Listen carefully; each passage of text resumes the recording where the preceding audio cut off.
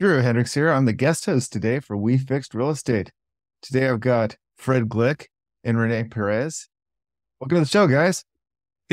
Howdy, what's happening? We are we are just talking about how much energy we have. This is this Yes, is- we do. This is going to be an adrenaline filled podcast. So let's see what what's up, guys. What's up? Okay, well, everybody's been kind of digesting the real estate lawsuit stuff with realtors and every one of the brokerages that are franchises that you can imagine Compass, Coldwell Banker, Remax, Keller Williams, et cetera, et cetera, et cetera. There's only been one deal where they've actually had a conviction, and that's in uh, the I forget where it is, Missouri, I think it was. I, I don't quote me on that, but it took the jury three hours to decide that all these agents should pay back 1.8 billion dollars. One lawsuit, 1.8 billion. And from what I hear, they can get triple damages for some reason. So it's like it's almost six billion dollars. It's like what are they getting back? Well, what they did was they they would go in. There's two sides of this as a buyer and a seller. As a buyer, what they would do and say, "Don't worry about the commission. The seller's paying." Of course, the seller's paying, but also it comes out of the sale price of the house. So actually, the buyer is paying it in the long run, in the reality. Okay, that's problem number one. Number two, basically, was they lied to sellers. They said you have to put a buyer broker fee uh, because and it and NAR made it a requirement in their MLSs, and the MLSs all made it a requirement. And the requirement was you had to put at least a dollar, but you couldn't put 0 So mm-hmm. the court said, like, I, I mean, the the jury said, like, no, no, dude, you don't have to. So here's what's going to happen from all this. It, there's not going to be like one day it's all going to change. This is just going to start to change. Like, for example, Arrivva doesn't require anybody to put anything for a buyer broker. We've done it with a dollar. Basically said, you know, hey, buyer agent, you know, you get it from your buyer. Okay, so get it from your buyer is an important thing.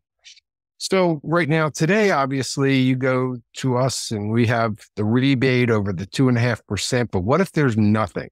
But Mhm. you owe us the money because we're doing the work and all that. But you'd like to be able to not pay it to us. You know, maybe you want to roll it into the mortgage. So there's actually a way on the contract in California that allows and tells the seller, hey, you know, X amount of dollars is actually going towards commission. So you're not really getting that much. If it's a million dollars, $10,000 commission, it's a million, $10,000 contract. Then there's a form they have to coordinate with this that basically explains it to the mortgage company. Mhm. So, but it still has to appraise for the million, ten thousand dollars, which it will 99% of the time. It's not going to make that much of a difference. So there's a process now to have the seller paying your uh, costs for your buyer broker fee.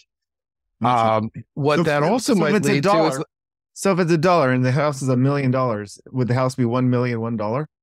No, no, Because no, it's no, no. actually missing the point. Let's follow Fine. this again. I'm the buyer, or Uh-huh. you're the buyer. Uh huh. Let's say you're the buyer. You come to me and we say, okay, you have to pay us $9,750. Uh huh. So we go to property A. The seller's offering two and a half percent of the sale price, $25,000. So you make an offer of a million dollars and then they pay us the 25,000 and you get everything over 9750. Mhm. Okay. In this case, if they they're only pay us the dollar, that means you owe us ninety seven hundred and forty nine dollars because the seller is paying us the dollar. Mhm. Got it? I get it from the buying side, but from the selling side, Selling side, I'm, hey, you're you want to sell your house, you want to get a million dollars for it. You're Mhm. going to pay us fifteen thousand seven fifty to do our listing, and we're going to do all the work. And you can read it at arrivva.com slash sellers to show what we do. Um, but then you go out, we put it on Redfin and all Zillow and everywhere else, and the buyers come to us, and when they make an offer, and they accept an offer is accepted, we don't pay their buyer broker anything. Mhm. Their buyer buyer has to pay their buyer broker something. Now, here's why you need a buyer broker Mhm. in California. Uh, I'm going to put it this way: you can't be your own buyer broker. And here's the system because the system has locked you out. Number one, you don't have access to the multiple listing service, which you must be licensed and under a brokerage to get. And in there, they have agent to agent notes, they have disclosure forms, they have a whole bunch of other information that's not public. Mhm. You can't get that. So let's say, even if you could get it, you got a friend who's an agent, he's happy to just give it to you. Second problem is you can't make an offer. Why? Because the offer has to be on this California Association of Realtor form that you can only get if you're licensed and you pay a fee. Mhm. And under the fee, under the contract for uh, that, if you're a realtor or not, you're not allowed to just give it out because, and they could pull the licensing for it. So you got to use somebody. So what's going to develop, and I can see us developing this in the future, is something where, and oh, and by the way, you can't take the forms and do an API and automate it so it fills in the blanks. Somebody Yeah. has to sit there and type it in within this stupid zip forms online software. So that's what makes it even more ridiculous because they will sue you for your license if you do it in the automated fashion I was Mhm. just saying. So they're sticking to the 1960s. You do everything their way or the highway. Will this change? Who knows? But that's the way it is right now. So you do need somebody to represent you. And you might as well because, you know, there's there, there's negotiations involved. Yeah. And that's what we do. And that's things you don't see and we can't put on websites. And if you check our reviews, it'll kind of give you a, a- an idea. And, you know, having said that, and nobody really knows this. So, René, why don't you tell people what you do? Because it'd be really interesting. We can't really put this in writing, but he does a whole bunch of stuff and he's like a pricing savant too. Pricing savant. René. That's a, Yes. that's a, that's a pretty loaded question. What do I do? What do you Well, well, for a buyer broker and why, why they should use us and the, the Well, difference of things. about- Talk about the contracts, right? And you know, and and and I've I've heard it from people, you know, that are experienced and they've done five, six different properties, and they say they they really already know what they're going to offer, and et cetera, et cetera. I think that regardless of you having a lot of knowledge and being an experienced buyer or seller, at the end of the day, like you you are also trying to, or you should be, even if you're not trying to, you should be trying to get a second pair of eyes because there is a um I don't want to call it friendship, but an alliance or an agent to agent, right? Sellers and buyers, they won't get the information directly or more truthfully than when when the person that you're dealing with on the phone is an agent or even in mm-hmm. person. I've had it where agents that won't even answer your your phone or the emails. You go to one of their open houses and they're a completely different person. But and I think and I think that's as much as I sometimes hate it because it does kind of get into the gap of, you know, being a salesperson, you know, the, the, the idea, I mean, even when we get our license, you know, and obviously there's a real estate broker's license and a real estate salesperson license. I don't really like the name of salesperson license because it's like, it's our title to be salespeople. But the reality is that if you are uh, actually trying to help a buyer, you do function more as an actual consultant because you're doing comparables as to how much the house would be um, be sold for. You're doing the calls to other agents and it's like, hey, how did the house next door sell for? Uh, even I mean, even today this morning, right? Like we were working with um, a house in, in Berkeley, and it was on Terrace Drive. It's like, okay, well, what do you know? Like we've actually already worked with uh, buyers and sellers um, in that same street. So uh, ha- having the knowledge of like, okay, six, eight months ago, there was four offers and we, there was a, a counter offer system. Someone that is experienced in selling before, they don't know that context of that particular sale. So I think that's the value add on of an agent, an agent that's actually trying to help you. It's not someone that just read a book and is actually just writing the contracts. It's some of them really does have the the the bandwidth to look at that in specific property. And they're they're all just kind of case to case. So I can't really tell you how much is, how much one property is going to go for because I've seen it time and time again where uh, a total fixer is going to go higher than the one next door that is fully renovated because the, the house next door sold four months ago and now there's 10 people that still want that same property in that same block because I mean we label it as school school schools but it's not even really about the schools, right?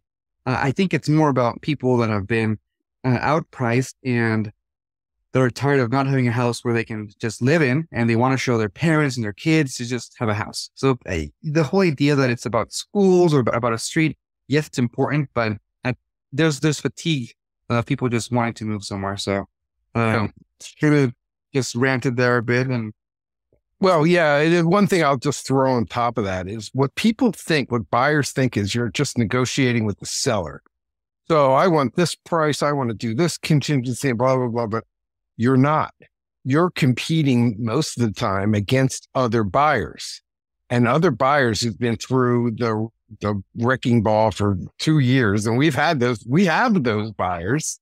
Mm-hmm. Like they get it. You know, as high a price as you can get no contingencies, settle as quick as you can. You know, maybe even a swing loan to get it to a cash deal and close quick. And that's it. That's it. There's nothing else. You know, we had these guys come in, I bought 10 houses and I know how to negotiate. Like, dude, you're wasting your time because it's all about my favorite word, my favorite word in life, D O N T E X T, context. No, that wasn't mine. There was the helicopters. There's always helicopters at the beach. I don't know what's going on here. Anyway, context. It's like mm-hmm. context mm-hmm. of each sale, context of who else is bidding. But yeah, if you remember you're competing against other people and not the seller, that's that's the way to bid. Uh, I think if there's nobody else. That context is so important. And René, is that how I mean that's where the savant comes in and that you have the context that the average yeah, I mean, so so I mean, there's there's been times where it's like, okay, how did that house like why did that house sell for much less before? And and, and yeah, using the context of like, okay, well, the unfortunately the sellers had cancer, and they had to just sell it quickly. Well, in that case, yeah, if you're a cash buyer, you submit ASAP, you can get a deal. Boom. It's a bit cynical, but that's kind of where like the deals and submitting quickly goes into effect. Um, sometimes, I mean, and we got all type of buyers, right? Who they want to use their own strategy. And I think that every strategy does have a, a function in our bidding process and it can be successful. But yes, context of how you're going to bid that in that particular scenario is going to be important. So it's like most of the time, and you know, I I I've lost a good amount of deals as well from like thinking that it's going to be incredibly much lower. Um, I mean, once you're above the context as well, right? Once you're above like the four million, five million dollar mark, you realize, well, um, there's not a lot of houses sold nearby. So what context do I use? Mm-hmm. it's also kind of bidding in the air, right? Because yeah. a house being sold well, for eight months. So the other mistake on the quote unquote normal houses where we have multiple bids is that people think there's going to be a second round. Oh, the seller's going to come back. No, we had one the other day where I forget now. I'll make up a number. It was listed at a million three, and it you know, we knew it would go for at least a million four. And our buyer okay, I'll give him a little bit over list. And it ended up like the agent said, okay, basically we got our doors blown in by a cash buyer and there's going to be no second round. It's over. This was too good a, a deal to give up. So I always say to my buyers, go in, first offer, highest and best. Because here's the other thing you're buying this for 20 years. Mm-hmm. So you paid 25 grand more than you should have, per se, or in your mind, you should have. In 20 years, 25 grand isn't going to matter. The second thing about, especially in Northern California, is they ain't building more houses. Meta, Google, etc. They ain't going nowhere. So guess what? It's called supply and demand. People want to live there. People love living there. People building roots. No other now place you have OpenAI moving into San Francisco. I mean, I, I mean, I, will I'll kind of add a, a, point there to kind of disagree with Fred though, because there's there always to be a nuance there on the because I mean, it, and this is something that people and buyers do disagree with all the time, and it's because text is lost in translation. Because Fred, you always says, you know, bid the highest and best, and if you get it, you get it. If you don't, you don't. The, the, the problem there is that people don't realize that what Fred is really trying to say is that based on the context of what the comp say and the added emotion, bid a number where you wouldn't necessarily go um, above, but that you know has a chance, right? Where like that too. Yeah. Yeah. Yeah. And, and, and, you know, it's like, yeah, like people and buyers, like I'm never going to tell some buyer to bid 2 million if we just think it's going to go way above asking. It's like, okay, as a buyer, okay, um, agent, why are you trying to make me bid X amount? And well, that's where I come in and I tell you, you're bidding this because there's a layer of, of ma- the math involved and the emotion attached to it. And I know that there's more offers. Sometimes it's hard to tell there's uh, more than one offer, but sometimes it's really easy to find out. You know, you yeah, go- sometimes these agents send us a thing. They say we have 30 packages downloaded, 11 people are say they're going to make offers. I mean, that's a beginning to it, but yeah, I mean, you can't really believe in that all the time, but true. I mean, you know, I mean, it's um, people I think are in, in, in at least in our market where um, it's it's really still really active. You have 50 people at the open houses still. Uh, it's uh, on Thursday it's in the market. By Tuesday it's gone. Mhm. You know that you have to be aggressive. If the house has been in the market, oh, one thing that I kind of want to mention then, you know, people always ask is the idea that oh, well, it's 40 days in the market, we submit an offer, and somehow there's another offer. Well, okay. As a listing agent, if you're a good agent, as as soon as you get one offer, you go and shop Mm. uh, with other buyers that have been uh, kind of just driving and just waiting on something an offer. So my job as a listing agent is to make sure that I can get the most for my sellers, right? Mhm. So it just makes sense that as soon as someone submits, someone else submits, and that's where you get the scenario where every time that you submit an offer, it- when a house that you think is kind of dead, it gets multiple offers is because everybody was just waiting to see how long it would take or if they can get it for less price. And that just generates a bidding there because there are people that don't really need to sell, that don't really need to buy, but they are int- interested in the house. So if you want a multiple bid, uh, just make sure to get, have a good agent. Then even though you have one offer, they go and reach out to everyone else. Yeah, that that's a super important thing to think about. Like I sometimes I look at those houses that are on the market for 40, 60 days. I look, there's no interest. You might have a couple dozen people sitting on the sidelines, all waiting for Yeah. the first mover. Uh, Some idiots. I mean, the sellers are idiots. They just price it because they want, they think it's worth it. I had a woman tell me back in Pennsylvania, well, you know, I bought it for this and inflation is this much. So I just took that number and now it's worth this. No, it doesn't work that way, lady. And I see the house has been on the market for a year now. So you're out of your mind. You know, don't waste your time. Well, Uh, I think that's a perfect time for you to reach out and educate the sellers. I think I, getting shit and get it. I can guarantee, I can, I can guarantee, um, talking to you here both, that if I I would talk to this woman, I would be able to kind of have her understand, and she would maybe give us some context as to like why she wouldn't sell at a lower price. Mm-hmm. So she obviously doesn't need the money either. That's the thing. yeah, but people, you know, this idea that people don't need the money, it's kind of there's kind of a a, a, a twisted kind of lie to this because if you don't need the money, then why are you selling? Then just keep it there empty. You want to need put it. Could be emotional thing or It's a it's They an got- they got- thing. And they got something better to do with the money once they get it. Yeah, you may have all the money in the world, but if you can save a dollar or a hundred dollars, Yeah, and they do it ten no brag to thirty one everybody that you got exchange. thing, or you sold So it for by- what it was worth. By the way, this has been crazy the last month. We've gotten a couple of 1031s. They just started popping up with us. It's been a lot. It's been a lot of fun with them. But hey, 1030, if you're doing a 1031 exchange, we can rebate you the money that you can get after closing that's not part of the exchange.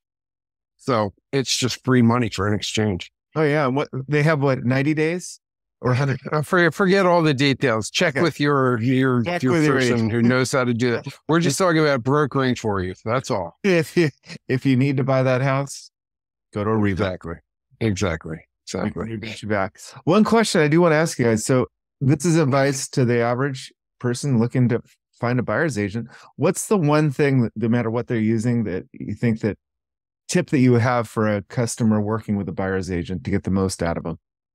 First of all, if the buyer agent doesn't tell you how much they charge right up front, run. Period.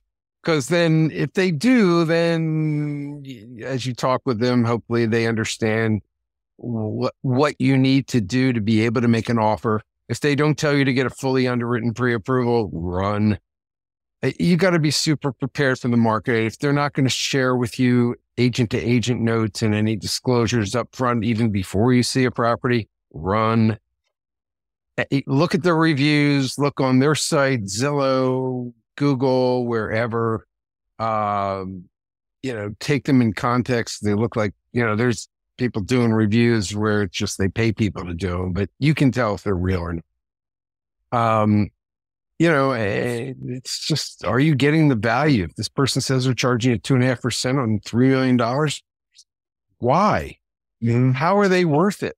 They took a course and a test and a little continuing education and they have a license. By the way, let's start. Speaking of taking tests, this guy took his test twice now as a salesperson and now a broker. He is now a broker. So congratulations for him. Congratulations, René. Onward yes, and upward. From from brokey to broker. Um, what? So you know, Drew did ask you know one thing, so I'll keep my side of things. Well, I have one, I have comments. so I'll keep my nice and short. But so I, I think there's in our industry, I think we do a, a part of our value is you know quote unquote you know being likable, right? If if people don't like you in the industry or they they just don't want to work with you, they won't work with you. That's just the realities of where real estate is. Um, and I think then one should take note that if someone's being a little too nice to you and they're just being like, "Oh, let's go see this house," Mm-hmm. A little too salesy. you should kind of red flags kind of roll roll over Yeah. because the reality is when you want someone to negotiate for you, they should be pretty stern about that, right? There, there should be a tune of like, okay, I can I can actually nego- negotiate for you, and it won't just be overly nice because what's gonna happen? Like, always think about how they're going to react to an offer, right? If they're really nice to you, you know, imagine they get to talk with an angry agent, and they're just going to just back off and just, you know, uh, be a, be a yes person, and then just make you overpay, right? So it's all about like, remember that you're working with someone that's going to negotiate for you. You want someone that's actually going to be able to negotiate for you, not just overly nice.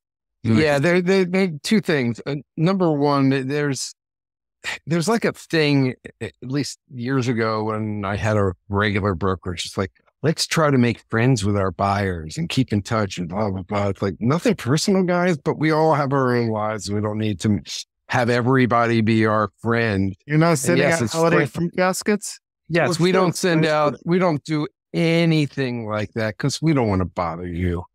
You know, it's just, it's just goofy. We, if we're going to send anything to you, it's going to be really good information that you can use. That's or the only reason to fat send- rebate check. is that too. yeah. And one other thing is ask them how they're going to communicate with you. Mm. Oh, I can text you. Well, you know, there's multiple people involved. We use Slack. Mhm. They haven't figured out Slack yet. They just don't get it. And it's the world's best way of communicating this. You finishing a beer there, Remy? water. Freaking water. You're a, a nice pro. yeah, you're- I was gonna say it's quite the water stein. anyway, so we're getting off topic as usual, but you know, you just got to be able to relate to the person. But number one is, what if they don't tell you what they charge? Run away because they're not doing it for free. The seller pays their commission. No, they don't. You pay your commission. and that's in our lawsuit. So more about that in our website as well. So we're, we're Yes. we're going to see about talking about this our law, lawsuit, and I'll I'll give my longer take later, um, in a in a longer video format. But yeah, this whole idea that the that the seller pays it, it makes no sense. Oh, Never by does. the way, Yeah. by the way, this this is this is the the most this is the biggest chuckle I had all week. The outgoing, basically forced to get out CEO of NAR, Realtors, National Association of Realtors, uh, said at the National Association of Realtors convention right down here in Anaheim this week that NAR is going to fight this and they're going to appeal. Hmm. They took three hours to decide that you were guilty. Okay. You're guiltier than OJ. Okay. Hello. But I guess they got no other way to go. They might as well throw a couple million dollars into legal fees to try to fight it as opposed to paying the billions of dollars, which would make them insolvent. Yeah. And the, it's looking like that 1.8 billion is going to grow to what, 40 billion or Oh, who knows? once it goes Gazillions of, bi- nationwide. gazillions of billions. Yeah. Because the lawyers who won that case literally did copy, paste, and put it over like 50 states and sued everybody. It's just, it's just silly at this point. You know, I, I don't want to talk about it anymore. All I want to do is figure out for the buyers and sellers what they should do next and what their best avenues are. And definitely. that's, You know, But I can and definitely that's a, really- new- a new round of um, those late night t- TV commercials that's going to compete for mesothelioma, or for the cl- joining the class if act. you've been, oh, I saw one on Instagram today. If you sold a house in the last 10 years in California, click here. You might be entitled to money back. Mhm. So, It's going to be the new late night TV. and, it, and your errors and admission insurance won't cover it, from what I hear. So you're hosed. you're really hosed. I wonder if we could use some form of advertisement like that. You know, if you've been told that, uh, You have to pay a buyer broker fee. Yeah. Well, the hardest thing is to find everybody who's going to be a seller without mailing them 17 times a month and finally getting to them all because we we're we're big we're all over the place. So most of our selling people either coming from leads or from referrals or from buyers who turn into sellers later. Um so but hopefully we'll be drew will work and get us more sellers. Oh yeah, that's uh, that's we're here. Guest host and lead generator. there you go Guys, all right this is long enough uh, people's Yeah. attention is probably gone by now but if you're still listening, thank you. thank And- you In the latest episode of We Fixed Real Estate.